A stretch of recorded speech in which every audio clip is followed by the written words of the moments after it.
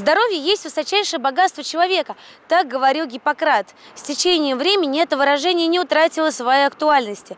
В современном мире ведение здорового образа жизни стало не только трендом, но и осознанной необходимостью. Особенно важно научить заботиться о своем здоровье детей.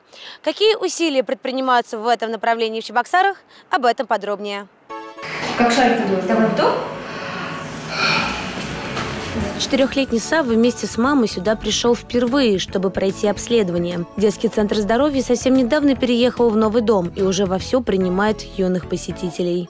Сказать, что все быстро, просто можно общее состояние организма узнать. Если что-то они выявят, то, конечно, это можно и исключить, и как-то сразу поддержать организм. С раннего возраста э, наблюдать за здоровьем ребенка. Измерить рост и вес, определить состав тела и уровень кислорода. Все исследования проводятся на новом и современном оборудовании, которое соответствует всем стандартам. В центре есть и кабинет стоматологии, в котором не только лечат зубы, но и рассказывают о профилактике полости рта в доступной для детей форме. Специалисты работают как и в Чебоксарах, так и в районах республики. Особую роль уделяют профилактическим мероприятиям в образовательных учреждениях. В центре есть школа здоровья. В доступной форме детям и родителям специалисты рассказывают о здоровом образе жизни и о том, как вредят организму алкоголь и курение.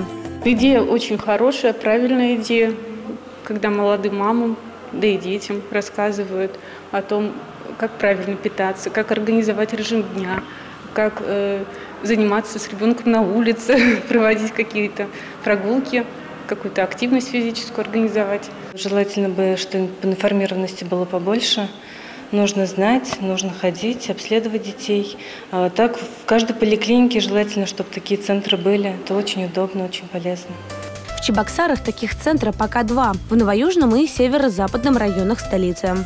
Основная цель – это обучение населения, не только детей, но и их родителей грамотному э, грамотному ведению, соблюдению своего жизненного пути в плане э, сохранения своего здоровья, обучение правильному питанию, достаточной физической нагрузки, ну и в условиях ограничений, то есть когда уже есть заболевание, правильному своему поведению, чтобы не заболевание у нас не продлилось, а наоборот сохранялось в той стабильности и не прогрессировало. Профилактикой болезней и их лечением занимаются не только в детских центрах здоровья. Подключились к этому и сами школы. Так, на базе 59-й школы реализуется целый ряд проектов, которые позволяют в процессе обучения получать ребятам квалифицированную медицинскую помощь. В учреждении работает Центр реабилитации. Здесь ученики регулярно проходят медосмотры и получают соответствующее лечение. Основная идея, да, чтобы медицинская помощь была, во-первых, доступнее, во-вторых, чтобы дети, которые посещают из школы, меньше болели, потому что они получают как раз противорецидивное лечение в нашем центре. Все процедуры, ну и процедуры, которые вот они здесь получают, это как раз чтобы направлены на то, чтобы не было обострения хронических заболеваний центре есть кабинет физиотерапии, в котором используются современные методы – магнитотерапия, гальваническое лечение. Кабинет охраны зрения – здесь ребята выполняют различные упражнения и делают гимнастику с помощью специальных линз.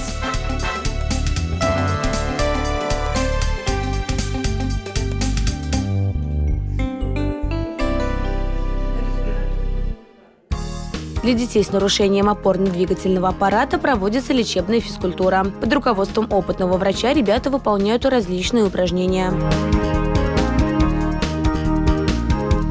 У меня все тут получается, и у меня, когда все болит, проходит.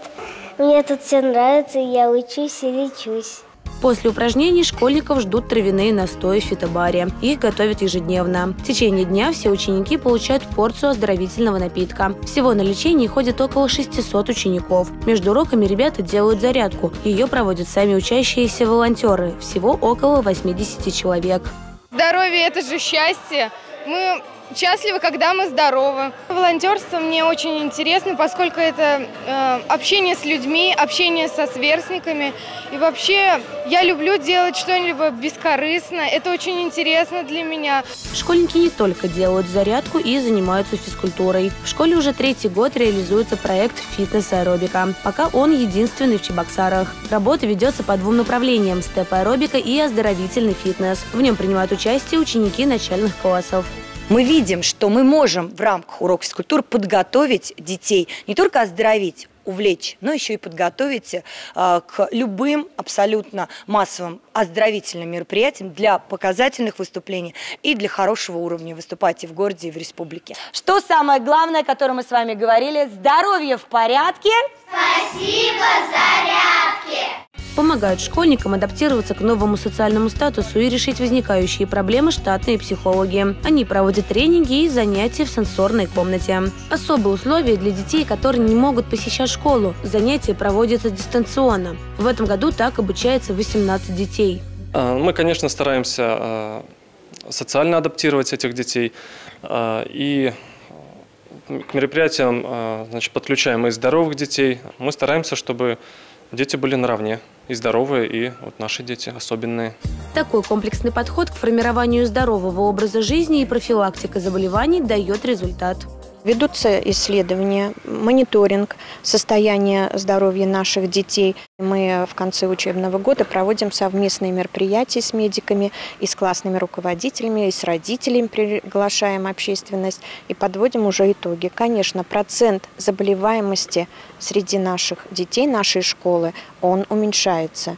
Пока такие проекты реализуются лишь в этой школе, но в столичной администрации надеются, что ее примеру последуют все остальные образовательные учреждения Чебоксар.